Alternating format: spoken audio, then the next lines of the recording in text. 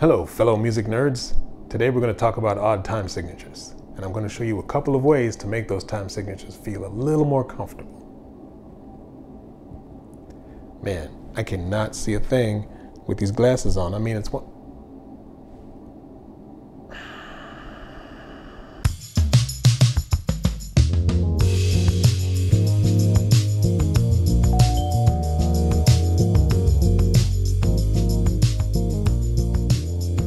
Hello, friends and neighbors. Welcome back to the Brown'stone. My name is Rich Brown. Thank you very much for tuning in. I hope you had an amazing week. I hope you're all doing very well and staying safe. Uh, today, we're talking about odd time signatures, and I know that this is a very contentious subject for many of you. Some of you really love playing odd time signatures, and some of you really can't stand playing odd time signatures. But uh, whatever side of the fence you might be on, uh, I'm here to help make those uh, rhythms feel a little bit more comfortable. So let's see if we can make that happen today. For me, the thing about playing odd time signatures is I'm always trying to hear the largest phrase. So I want to talk about a couple of different ways that we can do that. Now, the first way that I like to do this is to think in terms, as I said, of the largest phrase. So what does that mean? If I'm playing something that's in 5-8, then what I really want to do is think more in 5-4.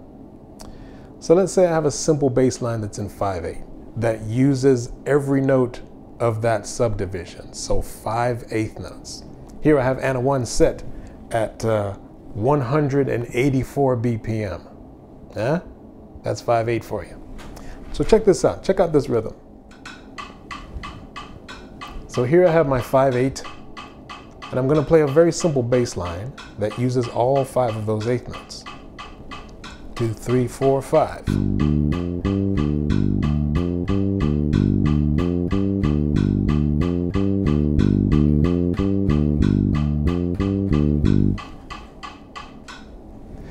So you can hear I'm playing this 5-8 phrase and I'm using every note of the bar.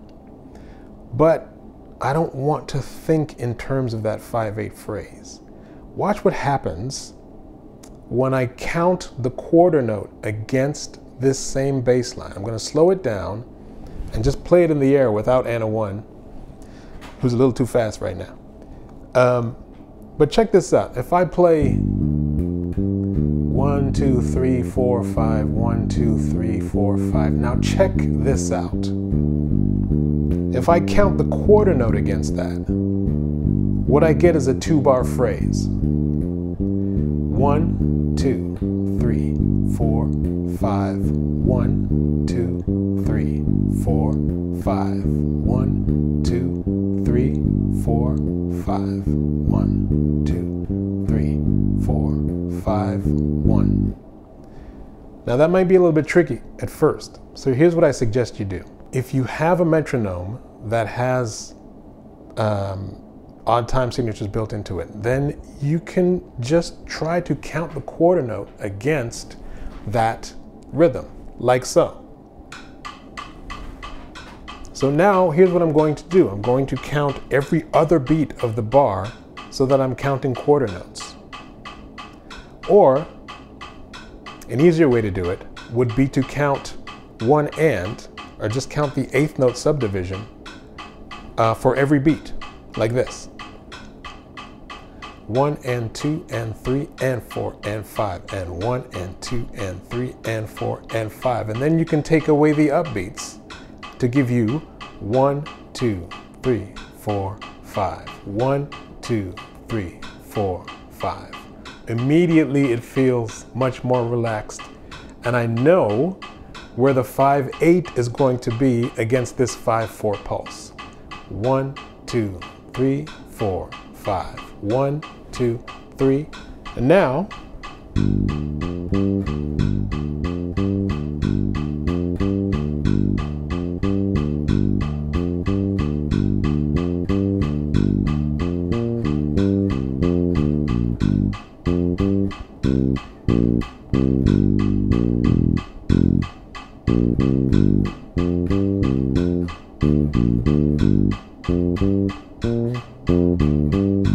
you can hear what's happening there is I can free myself up a little bit and start to play with the rhythm a little more now that I'm thinking in terms of the quarter note instead of the eighth note. Because if I was just thinking,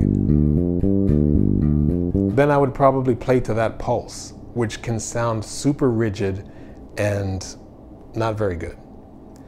So by counting the quarter note against my eighth note pulse, I immediately get a much more relaxed feel in the rhythm. I hope that makes sense. I will demonstrate it one more time. This is a great exercise for any musician. Doesn't matter if you're bass player, trombone player, flute player, vocalist. Try this exercise. Here's how it goes. One and two and three and four and five and one and two and three and four and five and one, two, three, four, five. One, two, three, four, five. And then not only can I just play one bass line, but I can also practice tunes this way.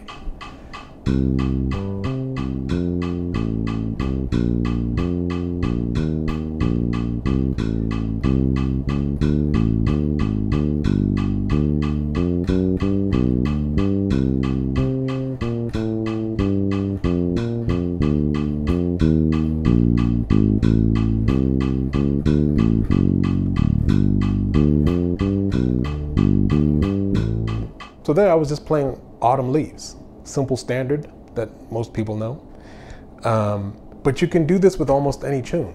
And not only can you do it with almost any tune, you can do this with almost any time signature. Let's take the same tempo, and this time what I'm going to do is turn my five into a seven. Here's how my rhythm will change.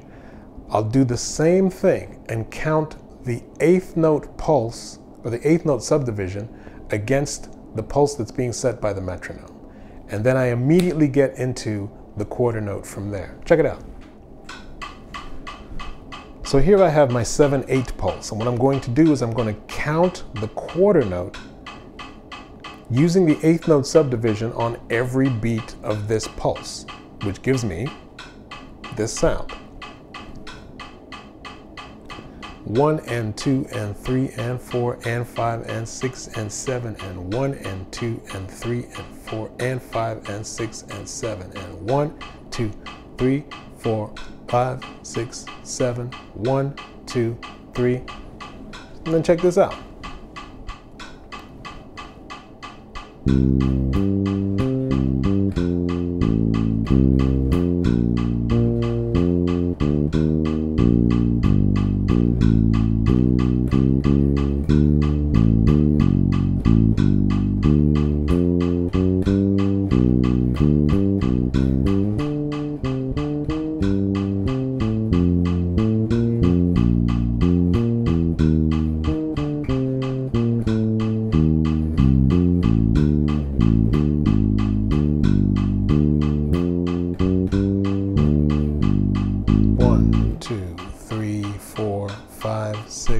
Seven.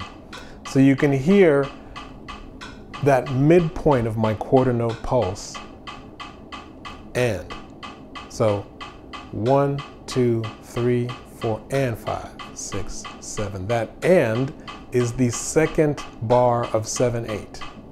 One, two, three, four, and five, six, seven. So I want to be able to feel where that falls almost in a natural way. In the same way that we can feel four beats go by in a 4-4 time signature, we should be able to feel this space as well. That's the goal. And so one, two, three, four, and five, six, seven. One, two, three, four, and five, six, seven. So this is going to be the exercise. Hold on in it. This is going to be the exercise. Just put on your metronome and try the different time signatures. Try 5, 7, 9, 11, what have you, 13, go as high as you want. Start by counting the, the quarter note pulse using the eighth note subdivision, the way that I demonstrated. And then what you can do is just try to hear that midpoint. And then once you get that feeling in the body, then you can try to experiment just by even just by playing one note. You don't have to go in and start playing autumn leaves right off the bat. But if you want to get a deeper understanding, you can start by, playing just one note. Six, seven, one. And then really getting an understanding of that pulse. One, two, three, four, and five, six, seven. One, two, three, four, and five, six, seven. That's the beginning.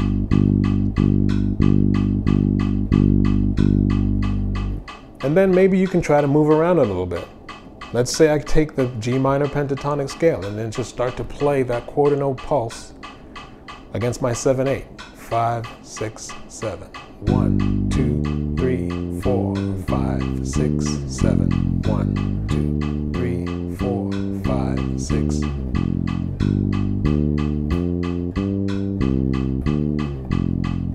Now see if you can try to catch that and.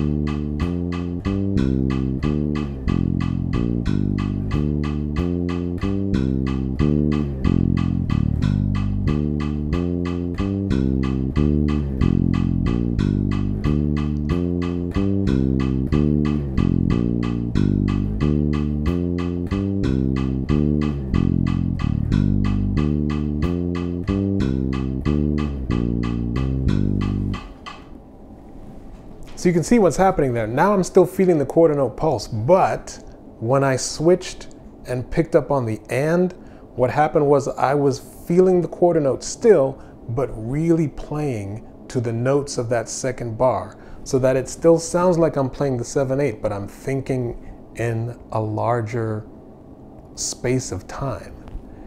And the more you're able to do that, the more relaxed you can make these kinds of time signatures feel.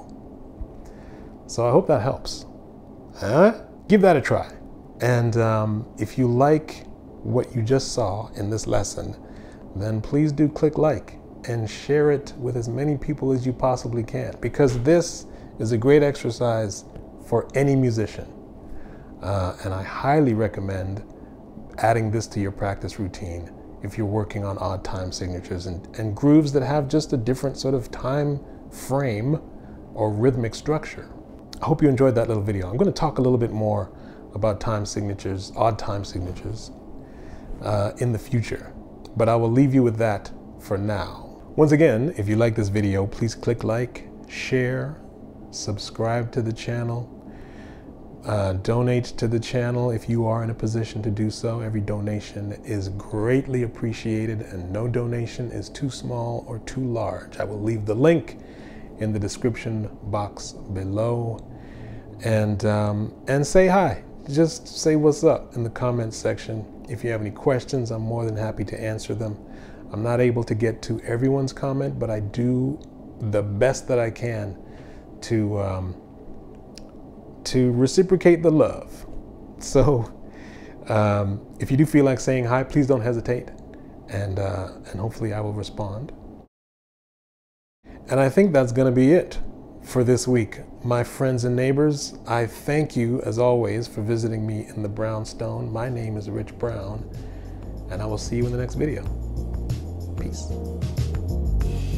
Where are my glasses?